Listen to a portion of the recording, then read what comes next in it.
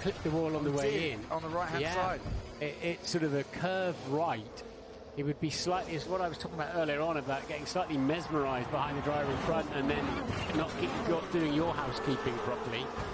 Um, I'm surprised the car parked there um, it didn't cause a, a, bigger issue because there's a very small runoff there in terms of other cars coming behind. Um, but um, yeah, slightly unsighted. But it, the, the braking zone curves right there Yeah. on both sides.